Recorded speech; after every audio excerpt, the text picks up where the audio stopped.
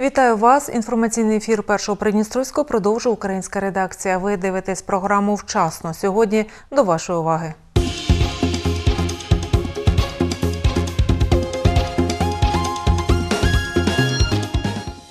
Повітряна скарбниця в уряді обговорили закладені Верховною Радою надходження до бюджету, які не відповідають дійсності.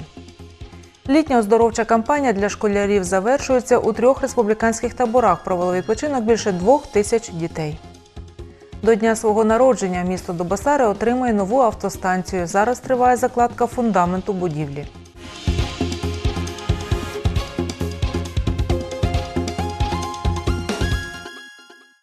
Фактичні доходи республіканського бюджету не досягають тих показників, які були затверджені Верховною Радою.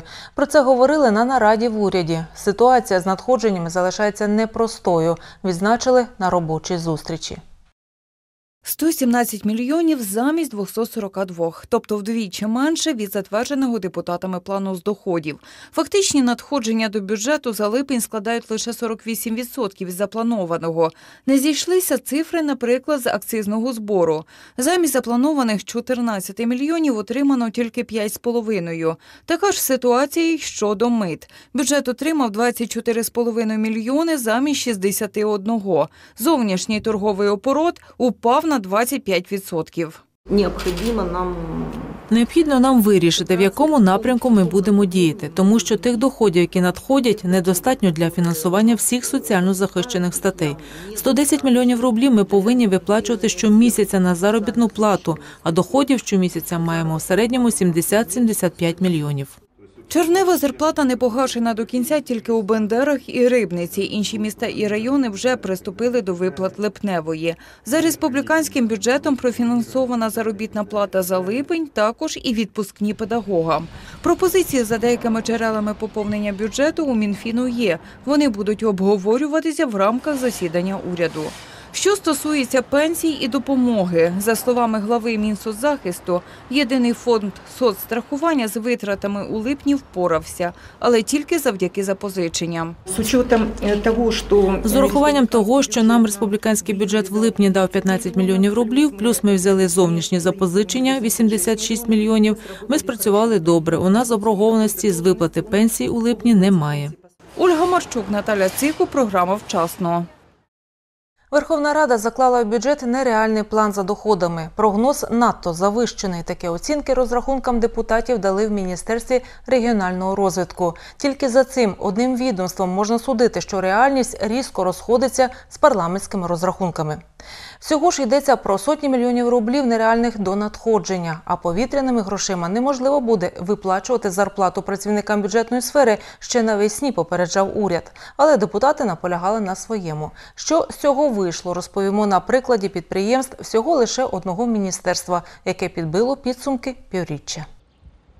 Автостанції Придністров'я одне із держпідприємств, які повинні перерахувати в бюджет в рази більше коштів ніж раніше. Це прогнози Верховної Ради. А ось реальність транспортників із 2014 року, тобто після майдану і війни на Донбасі, бажаючих виїхати на Україну різко поменшало. А коли у росіян з'явилися проблеми із пропуском через кордон, виявилося, що, наприклад, в Москву і Санкт-Петербург у порівнянні з докризовим періодом зараз їде на 60% менше людей. Перевезення Придністров'ям майже не змінилися. У нас ситуація порівняно стабільна. Не відчув змін і водій Кишинівської маршрутки, але на інших напрямках, наприклад, в Гагаузії, пасажиропотік знизився. Прошлом году, позапрошлом году Рік тому, припустимо, їхали звідси хоча б сюди, виїжджали 10-15 пасажирів. А сьогодні бачите самі Та, ну, 3-4-5 пасажирів. Зворотно взагалі порожні приїжджаємо. взагалі 2-3 людини, навіть ні з ким розмовляти. Через спад міжнародних перевезень автостанції Придністров'я отримали в першому півріччі вдвічі менше прибутку ніж роком раніше. Схожа ситуація по всьому міністерству. Енергетики знизили тарифи на газ, тепло, електрику на 7%, причому за свій рахунок задля підтримки населення. Добасарська ГРЕС і зовсім півріччя завершила зі збитком, тому що після будівництва Україною двох електростанцій і посушливого літа рівень Дністра впав. При такому рівні виробляти колишні обсяги електроенергії неможливо, а все це найбільше держпідприємства. Проте, заробляючи менше, держпідприємства зараз підтримують і навіть розвивають інфраструктуру. Наприклад, автостанції зараз орендують диспетчерсько-касові пункти за 850 доларів у місяць. Підрахували, що вигідніше побудувати власні пункти у Терасполі і почали їх зводити власним коштом. Серйозні роботи йдуть в центрі Дубасар. У минулому році реконструювали привокзальну площу в Кам'янці, в Бендерах і Первомайську. Частину грошей спрямовують на збереження потрібних для населення, але економічно нерентабельних сільських маршрутів. Якщо постане таке питання, то ми змушені будемо зупинити будівництво тих об'єктів, яке у нас вже ведеться.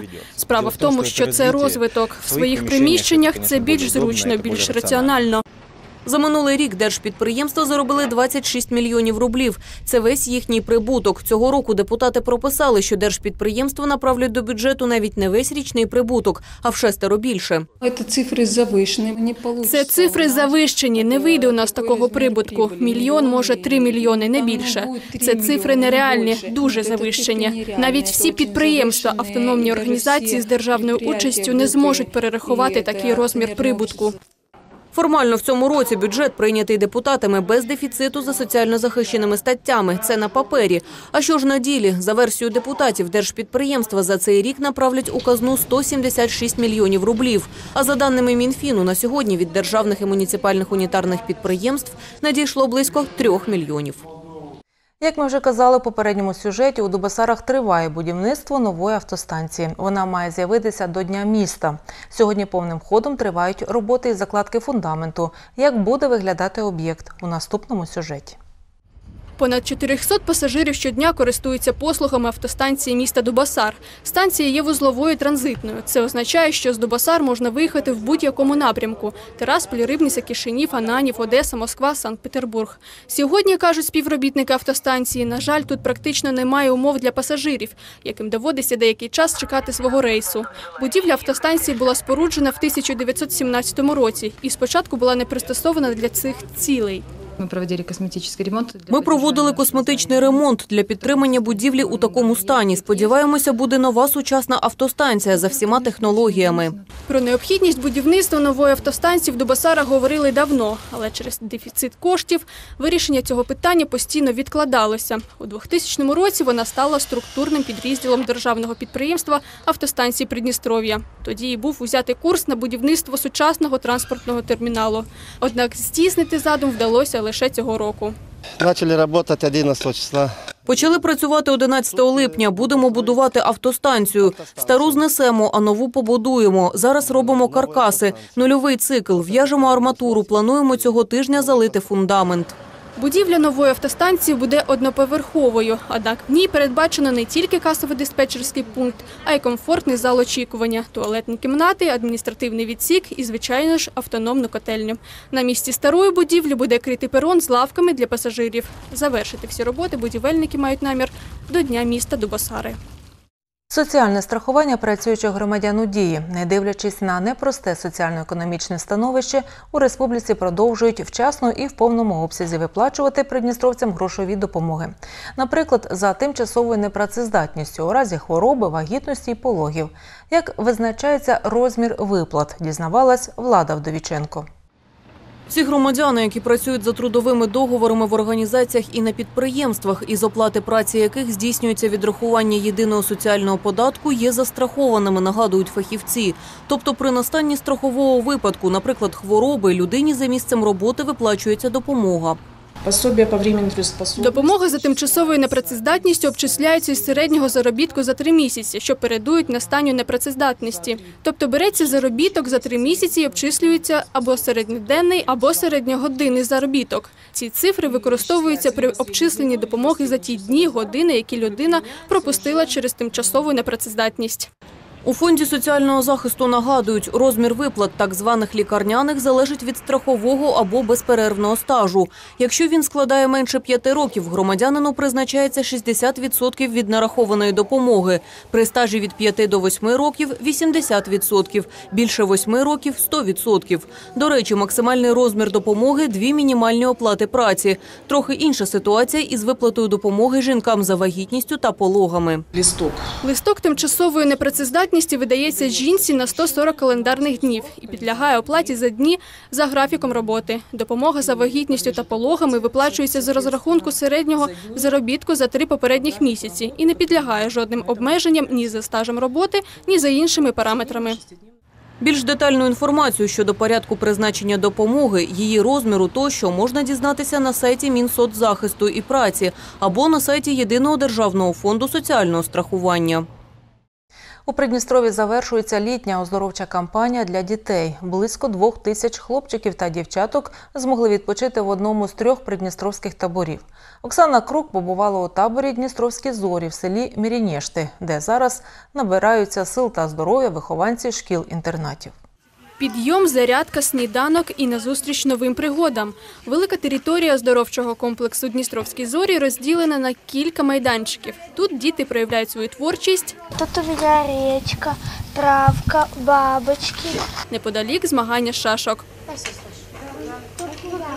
А ось ці діти люблять активний відпочинок. У цьому матчі сили рівні. Дівчата не поступаються в грі хлопцям.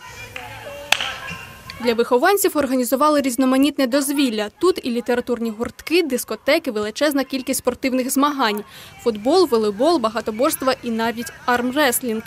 Тут разные кружки, игры. Тут різні гуртки та ігри, багато розваг, концерти, годують смачно. Тут гойдалки, ходимо займатися на турніки. Але найбільше я люблю грати у футбол. Маленькі діти скакають на скакалках. Все у нас, е, ігри у нас в повному е, наборі. Ми купаємося з дітьми у басейні, е, йдемо на різні мероприятия, які заплановані на, на цей день. Зараз в таборі відпочивають 283 дитини. Це вихованці шкіл-інтернатів та дитячих будинків з Тирасполя, Бендер і села Гленне. Серед них є і дітки з особливостями розвитку. Для них передбачені додаткові умови перебування. Підхід індивідуальний до кожної дитини, враховується їх ступінь здоров'я, їх відхилення від норми. Ведеться медичний контроль. Діти проходять необхідні медичні процедури. Якщо дітям призначено медикаментозне лікування, вони його проходять. Цього року для вихованців шкіл-інтернатів та дитячих будинків вдалося збільшити кількість змін в літніх таборах. Так, минулого року був всього один заїзд. Цього аж три. З'явилося більше можливостей для оздоровлення дітей. Це пов'язано із роботою і самих таборів. Тому кількість змін було трохи збільшено для того, щоб діти змогли відпочити у достатній мірі. А в цей час працівники інтернатів пішли у відпустки.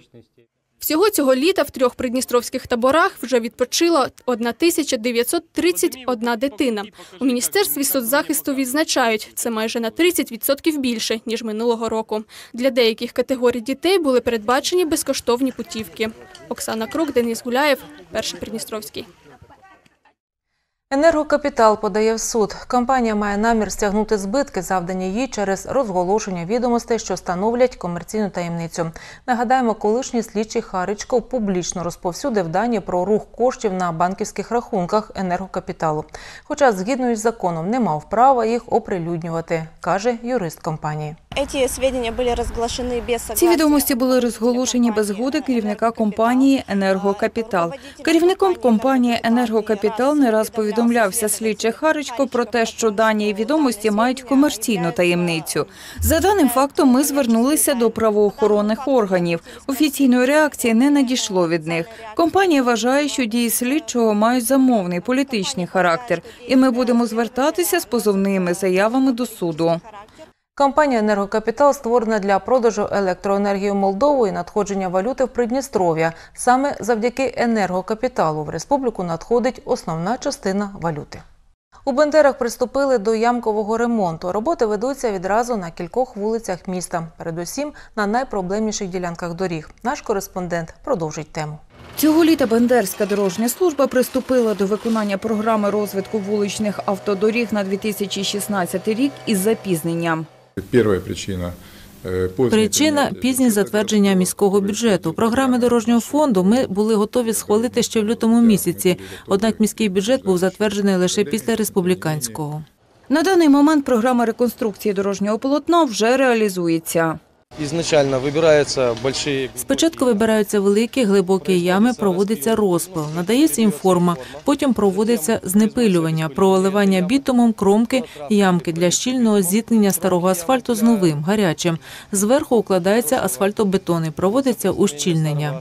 Ямковий ремонт у Бендерах охопив вулиці Дзержинського, Пушкіна, Кавріагу і Московську. На данный момент на улице Кирова 19. Зараз хлопці вивозять ґрунт, потім засипатимуть щебінь, будуть утрамбовувати і стелитимуть асфальт. За словами співробітників підприємства «Комуналдорсервіс», ремонтувати дорожнє полотно за допомогою гарячого асфальтобетону найкраще влітку. Планові роботи дорожники мають намір виконати до кінця року. Продовжимо випуск. Є пам'ять, якій не буде забуття. У центральній міській бібліотеці столиці відкрилася виставка, присвячена подіям 92-го. Тут можна вивчити документальні матеріали, прочитати унікальну літературу, спогади учасників бойових дій. У бібліотеці кажуть, зовсім недавно одна з відвідувачок виставки в книзі пам'яті захисників Придністров'я знайшла фотографії своїх загиблих батьків. Є тут і книга про Олександра Лебідя. У 2004 році в дар бібліотеці видання передала сама дружина легендарного генерала. Відвідати виставку можна до кінця тижня. І е, це все. Попереду на вас чекає прогноз погоди, а я на цьому випуск завершую. З інформаційним оглядом новин завтрашнього дня зустрінемось, як завжди, вчасно на першому Придністровському. А всі новини дня сьогоднішнього ви можете переглянути на сайті нашого телеканалу. Бувайте здорові!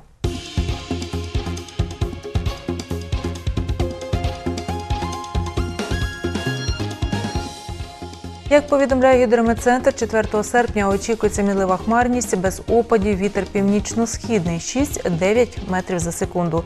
Температура повітря на півночі республіки вночі 16-18 градусів вище нуля, в день 28-30 тепла. У столиці вночі 17-19, в день 29-31 з позначкою плюс. Атмосферний тиск в межах норми.